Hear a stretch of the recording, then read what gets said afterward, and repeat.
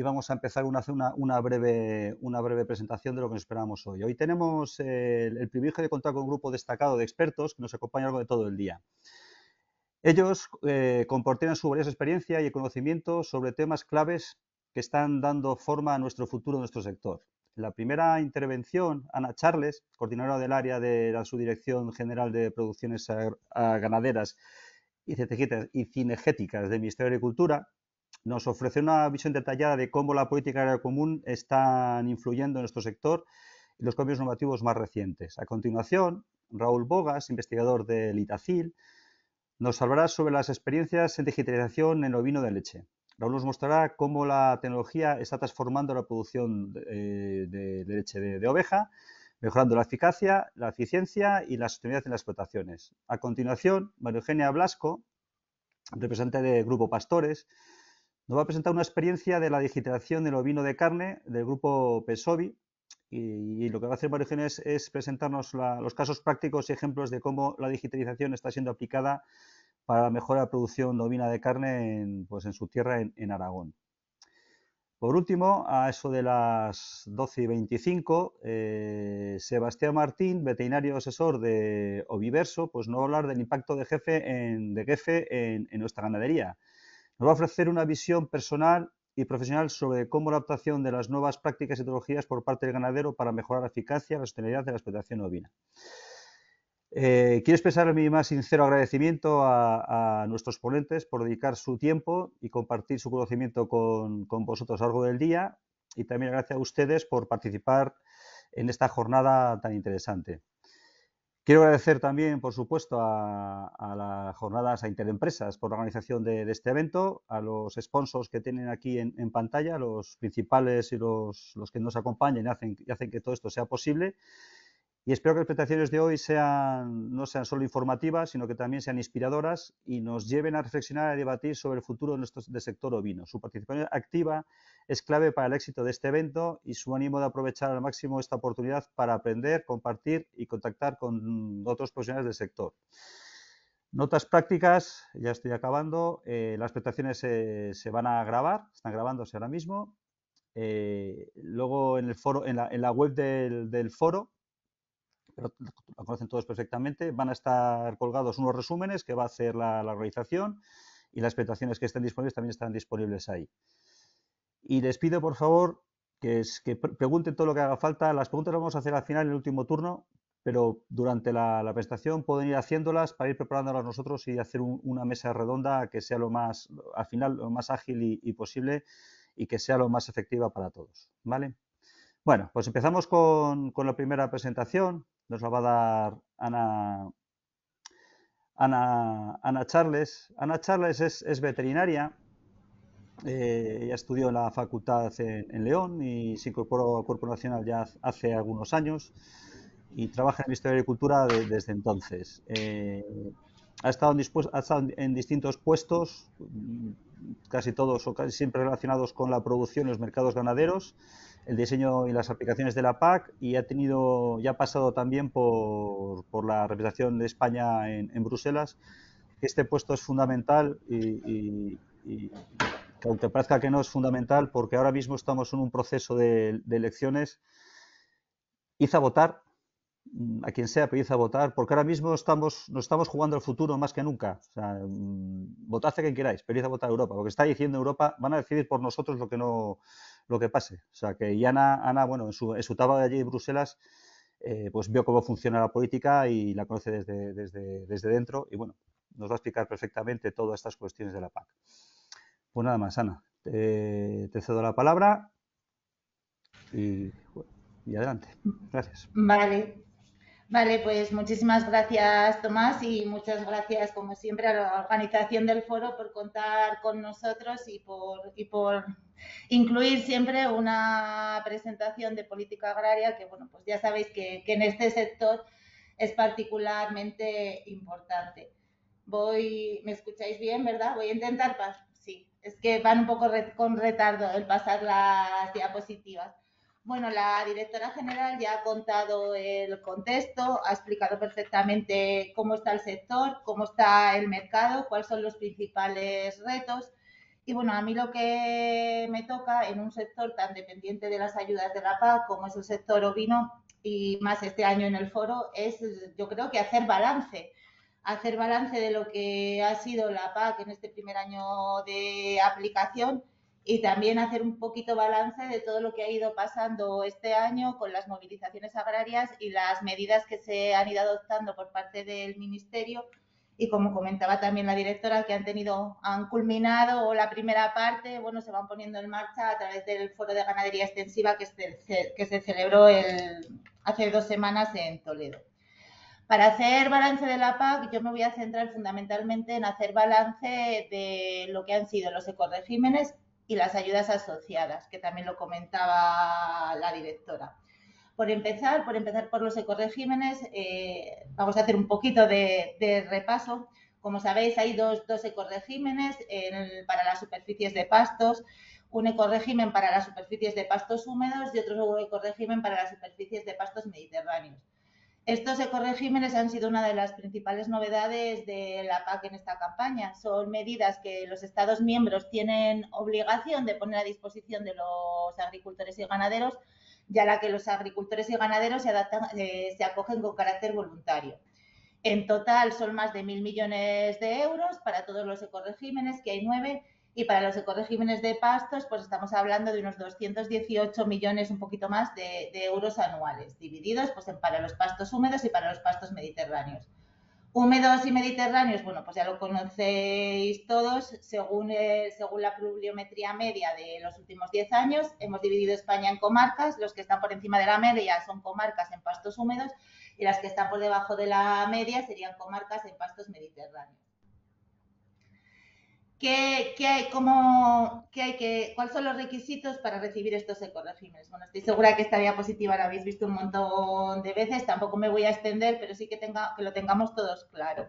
Hay que ser agricultor activo, por supuesto.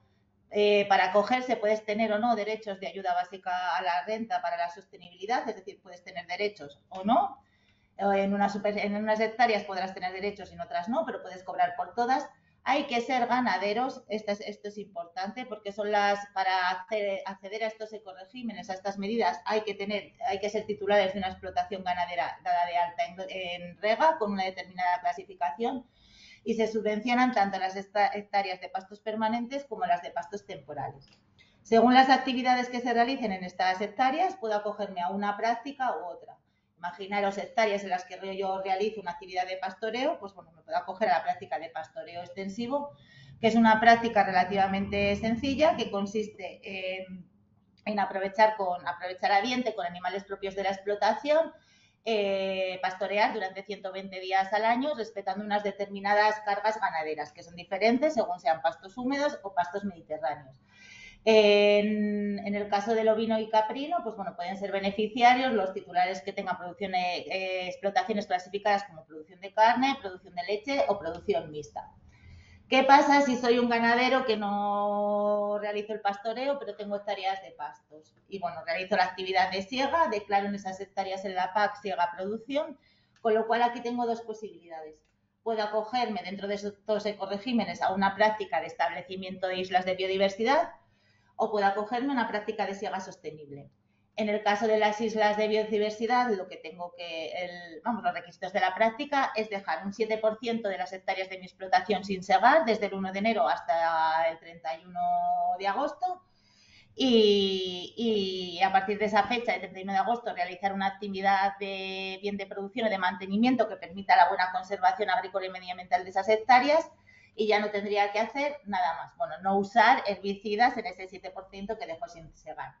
¿Que no quiero acogerme a esta práctica? Bueno, pues puedo acogerme a una práctica de siega sostenible que consiste en dejar un periodo improductivo, o sea, 60 días sin segar entre los meses de junio, julio y agosto, 60 días que determina la comunidad autónoma, y luego limitar una, eh, cumplir con una frecuencia de siega limitada según la altitud de mi explotación. Es decir, que aquí tenemos al ovino y caprino como beneficiario, posibles beneficiarios de corregímenes eh, en las superficies de pasto con tres prácticas posibles a las que acogerse.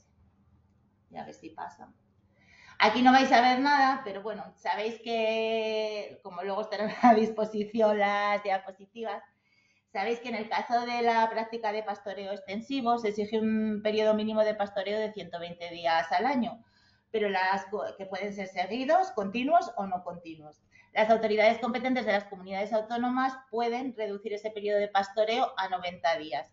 Además, también eh, en el año 2023 existía la posibilidad de reducir, como hubo una sequía, una sequía tremenda eh, a lo largo de esa campaña, se posibilitó a las autoridades competentes a reducirlo incluso a 60 días el periodo de pastoreo, porque no el, pasto estaba muy comprometido y es verdad que, esta práctica igual no se podía realizar.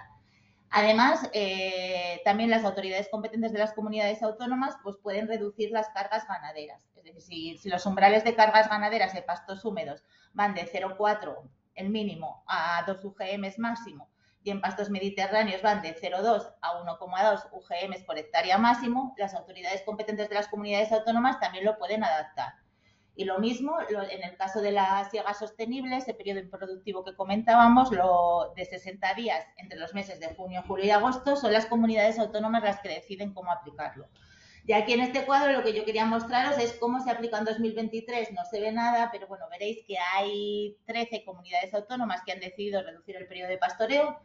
Esas mismas 13 comunidades autónomas han reducido las cargas ganaderas establecidas, es decir, que al final la práctica ha sido más sencilla, con unos requisitos más laxos de lo que inicialmente estaba previsto, porque las comunidades autónomas son competentes y ellas deciden. Y luego, entre los periodos improductivos, pues la mayoría han elegido julio y agosto.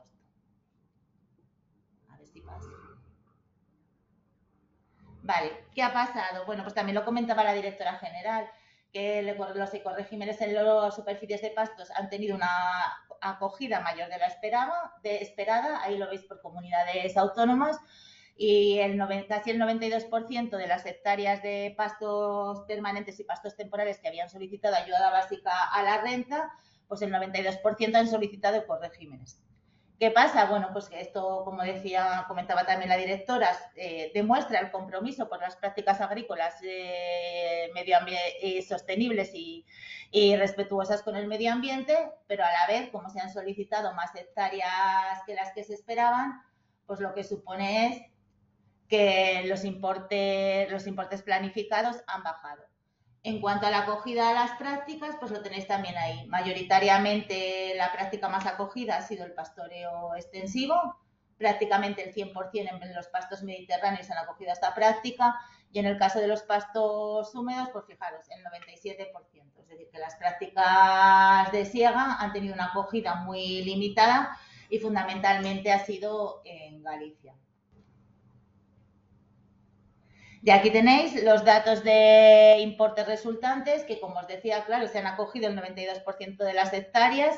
Eh, se había planificado una acogida menor, pero bueno, al final ha sido, pues ha superado las expectativas con lo cual los importes han quedado como tenéis ahí. Pues tenemos en, pastos húmedos, en el, ha, sido necesario aplicar de agresividad para las primeras hectáreas, tanto en pastos húmedos como mediterráneos, y en pastos húmedos estamos hablando en el primer tramo de un importe de 50, un poquito más de 51 euros, eh, 33,7 casi en el caso de pastos mediterráneos, y en el último, en el tramo 2, en el segundo tramo de degresividad, pues nos hemos ido al importe mínimo, porque claro, la acogida ha sido mucho mayor y el presupuesto pues es el que es. Al final, esto son habas contadas. Es el presupuesto que es, se solicitan más hectáreas, los importes bajan. Eh, de cara a 2024, ¿cuáles son los cambios?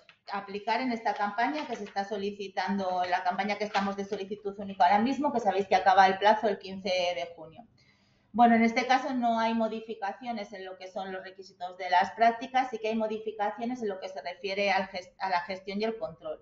Estas prácticas quizás son sencillas de entender, sencillas de realizar, un pastoreo, una siega, pero muy difíciles de controlar y de gestionar. Con lo cual ese ha sido el reto. Eh, al final, aún intentando simplificar y no crear, generar cargas administrativas, efectivamente se crean cargas, pero bueno, esto luego la Comisión Europea es muy estricta, hay que justificarlo todo, que todo el dinero público se controla perfectamente el gasto, con lo cual ha sido un poquito, por más que lo hemos intentado, es inevitable que al final haya que hacer determinadas declaraciones de cara a percibir estas prácticas. ¿Qué es lo que cambia ahora en 2024? Bueno, sabéis que en la, solicitud, en, el momento de solicitud única hay que relacionar las parcelas de pasto con los códigos REGA que van a pastar allí. Bueno, pues en esta, en esta campaña, en el caso que, sea, que se trate de pastos comunales, como la información ya la tendrán las autoridades competentes, eh, pues no hay que hacer esa relación parcelas de pasto con parcela con código de explotación, no hay que indicarlo en la solicitud única, ¿vale? Eso es una simplificación en la que, bueno, pues hemos estado intentando trabajar para que cada vez los requisitos de la práctica eh, sean menores y generar menos cargas a los ganaderos.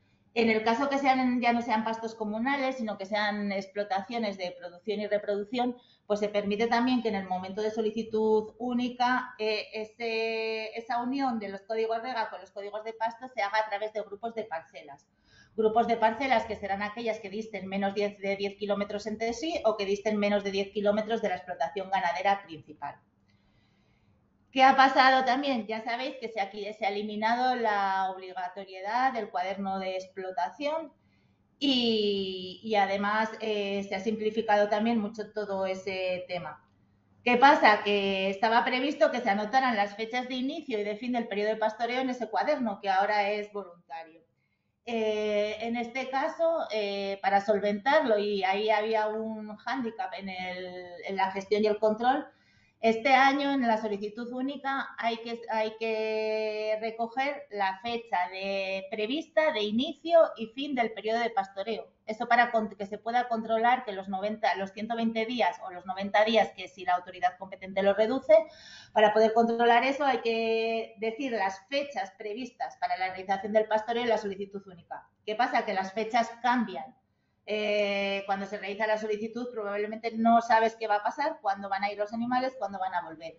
Con lo cual se deja una flexibilidad de 15 días. Si de las fechas que se incluyen en la solicitud única el ganadero se desvía más de esos 15 días, tendrá que hacer una anotación o comunicarlo electrónicamente a las comunidades autónomas como éstas consideren o se establecerán fotos geolocalizadas o cualquier otro sistema de control que la autoridad competente habilite, solo si se desvían esos 15 días. Con lo cual, bueno, yo soy consciente que me vais a decir que son muchas cargas administrativas, pero bueno, esto es muy difícil de, de controlar y hay que justificarlo ante la comisión. Y en el caso de la ciega, pues bueno, pues lo que se cambia en el 2024 también es consecuencia de los cambios en el en el cuaderno electrónico de explotación, con lo cual esas anotaciones previstas en el cuaderno pues se van a realizar en papel y estarán a disposición de la autoridad competente cuando ésta considere. ¿Cómo estamos ahora? Esto estamos, os comentaba lo que ha cambiado en 2024, ahora vamos a ver lo que cambia en lo que estamos para 2025. Eh, para 2025 se va a modificar el Plan Estratégico Nacional, con lo cual estamos en fase de diálogo informal con la comisión, ¿vale? Eh, estas, hemos propuesto modificar, las, simplificar algunas prácticas de los ecoregímenes de pastos y en estos momentos, pues bueno, no hay, lo tenemos casi prácticamente cerrado, pero no del todo. Así que os pongo ahí un tira y afloja porque cualquier modificación con la comisión no es sencillo. Hay cosas que que nos está costando muchísimo que nos las acepte, vamos por justificación diaria casi, pero bueno, estamos en ello y bueno, se supone que a lo largo de esta semana tendremos ya el visto bueno o no. Se supone que acaba esta semana la fase de diálogo, informal. ¿Qué hemos propuesto para los ecoregímenes? Bueno, pues en el caso del pastoreo extensivo, para que no ese cuadro que os ponía en las primeras diapositivas que no veíais nada y que las comunidades autónomas habían bajado las cargas ganaderas eh, bajo determinadas circunstancias, pues bueno, lo que proponemos es que si las autoridades competentes van a disminuir las cargas, todas solo se, puedan bajar a 0,2 UGM en pastos húmedos y a 0,1 en pastos mediterráneos. Es decir, que no cada comunidad autónoma cambie a una cifra porque se generan al final entre ganaderos limítrofes, casi la misma comarcas limítrofes, eh, una de, distintas comunidades autónomas, se toman diferentes decisiones y creemos que esto simplifica. Y bueno, esto sí que no, esto sí que tenemos luz verde de la comisión, eh, salvo que sea por un fenómeno climático que que ocurra una determinada campaña, pero bueno, esto tenemos luz verde para que las decisiones que se adopten valgan para todo el periodo PAC, salvo lo que os decía, salvo que sea una sequía extrema una determinada campaña, que se adopte una decisión puntual en un momento dado. En cuanto a la siega, lo que proponemos es que las islas de biodiversidad, que eran el 7% sin segar, bajen al 4%. Esto también tenemos luz verde de la comisión. Y en la siega sostenible, pues bueno, eh, nosotros proponíamos que los 60 días improductivos los, los eligiera el ganadero y que el periodo se, se, ampliara de mayo a septiembre en vez de ser solo junio, julio y agosto. Y en esto, pues bueno, hemos tenido bastante problemas con la comisión, sobre todo con la parte, con la comisión de ENVI. Y bueno, pues saldrá, pero no va a salir todo lo laxo simplificado que a nosotros nos gustaría, eh, con lo cual, pues bueno, el mes de septiembre probablemente no estará incluido y el ganadero solo podrá elegir entre dos periodos que establezca la comunidad autónoma. Paso a las asociadas, que bueno, también lo ha comentado la jefa, pues básicamente sabéis que en este periodo PAC que hemos empezado en 2023 se ha hecho un importante esfuerzo y se han aumentado la dotación de ayudas acopladas y en el caso del ovino y caprino respecto a la PAC anterior han aumentado un 17%. También ha habido un importante cambio, ya sabéis que a partir de esta campaña ya las, hasta ahora las ayudas eran ovino y caprino por separado y ahora en desde 2023 las ayudas van por orientación productiva. Tenemos una ayuda para el ovino de carne, otra ayuda para la producción sostenible de leche de oveja y cabra y luego una tercera ayuda para el ganado ovino y caprino que no tiene pastos a, a, su disposición, pero realiza el pastoreo sobre superficies, restos hortofrutícolas, barbechos o rastrojeras. Ahí tenéis, bueno, los requisitos serán, son bastante parecidos a los de, la, los de la PAC anterior, con lo cual no me voy a extender mucho.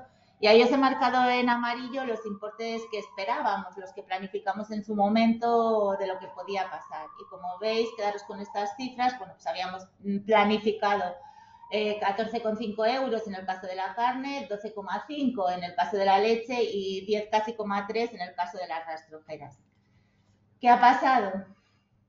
Bueno, pues ha pasado que desde que se planificó han pasado muchas cosas llegó un COVID, llegó una guerra de Ucrania, una sequía extrema, eh, problemas estructurales del sector y los censos cayendo.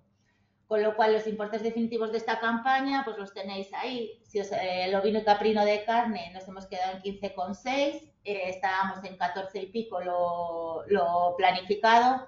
La leche de oveja y cabra, eh, casi 16 euros pero estábamos pensando, lo planificado era que cobrara más la carne que la leche y ha sido, se ha dado la circunstancia al revés.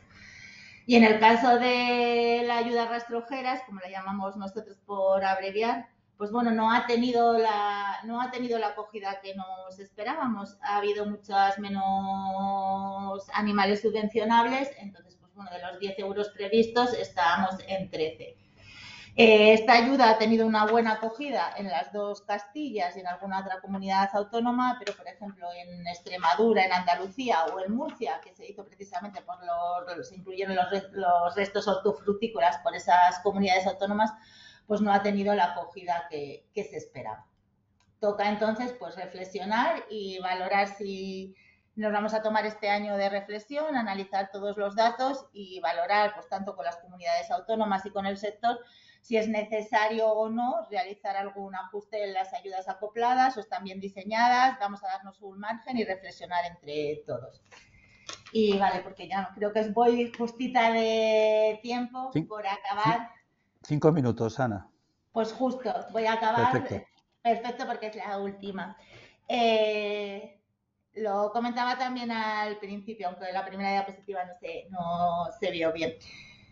Eh, un año complicado, venimos de años complicados, pues bueno, hemos hablado, el mercado, la sequía, Ucrania, todo, eh, movilizaciones agrarias, respuesta del Ministerio, 43 medidas para el sector agrario en diferentes ámbitos, recoger medidas fiscales de, cadena, de simplificación de la PAC, de lo que hablábamos de los ecoregímenes, y bueno, eh, os he dejado el link ahí pero sí quería centrarme un poco en lo que fue el foro de ganadería extensiva y las 10 propuestas de simplificación que propuso el ministro de, Agricultura.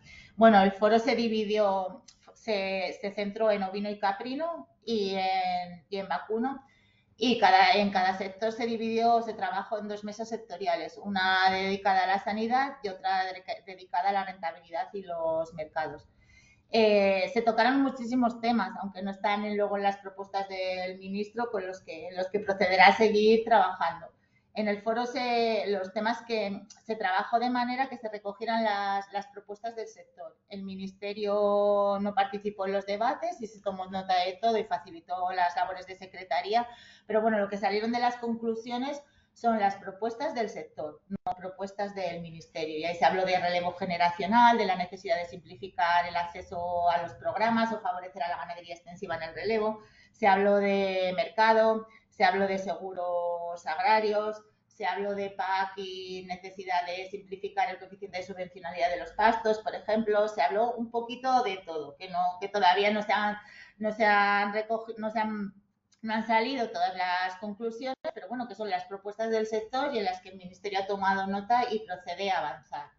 De hecho, en, el caso del relevo generacional se va a celebrar una conferencia sectorial en julio, ministro con consejeros, en los que se va a preparar una, que ya llevan trabajando en grupos de trabajo, y se va, y se va a elaborar una estrategia o completar una estrategia para facilitar las nuevas incorporaciones, el acceso a la tierra, facilitar los ceses anticipados mientras se incorpore otro a la misma, otra persona a la misma explotación. Y bueno, en eso ya se está trabajando y bueno, yo me alegro de que en el foro de ganadería extensiva se reflejara la problemática en estos sectores para que se pueda como incorporar esto también a la estrategia.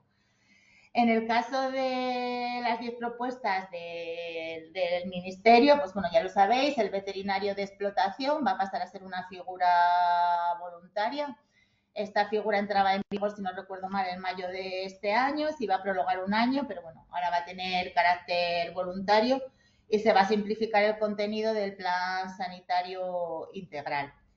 En el caso de bienestar animal en el transporte, que también es otro tema que preocupa mucho al sector, pues también se debatió mucho sobre este tema y se propuso, o lo que ha quedado recogido en, en estas propuestas es que, bueno, que por supuesto la postura del sector sea la que se defiendan las instituciones comunitarias. Y en el caso de la rentabilidad, pues para el sector ovino, ovino, ovino de carne sobre todo, pero bueno, no, la leche no tiene por qué estar fuera de aquí tampoco, eh, el ministro se comprometió a llevar a una conferencia sectorial con los consejeros la posibilidad de desarrollar una intervención sectorial en el sector ovino dentro del CAPAC. Sería una especie de muy parecida a los programas operativos que tienen las frutas y hortalizas. Y bueno, si todas las comunidades autónomas están de acuerdo y el sector lo apoya y se encuentra, se libera presupuesto de alguna de otras de las medidas de la PAC, esto se podría poner en marcha. Es es interesante eh, siempre que el sector esté comprometido. Ya sabéis que son actuaciones que se llevan a cabo a través de las organizaciones de productores, pero que las propias organizaciones de productores tienen que cofinanciar, con lo cual, pues bueno, estamos en un plan estratégico, toda la PAC se planifica, con lo cual, pues bueno, hay que, hay que debatir y trabajar por, por ello. Yo personalmente creo que podría ser una iniciativa interesante, pero bueno, hay que trabajar, hay que trabajar mucho en ello. Y bueno, también quedó como conclusión, pues bueno, por supuesto, cooperar con las interprofesionales, que ya se, coopera mucho, espero, pero bueno, eh, especialmente en el ovino y caprino, pues para la promoción de los productos a través de Alimentos de España. Y eso ha quedado recogido pues también en las propuestas. Y no sé si me he pasado mucho del tiempo, pero bueno, espero haber hecho un buen repaso de dónde estamos y nada, muchísimas gracias a todos. Muchas gracias, Ana, la has clavado. Perfecto, muy bien. Pues, pues nada, Ana, gracias por tu, por tu presentación. No vamos a resumirla porque, bueno, la PAC, la PAC es, difícil de resumir y por mucho que queramos, hay muchas cosas, es, bueno, los que sabemos o sabéis, pues sabéis lo que, lo que toca por hacer. Eh, espero preguntas, por favor, mandadnos preguntas para hacerse al final de la, de la presentación. Venga, gracias, Ana, y pasamos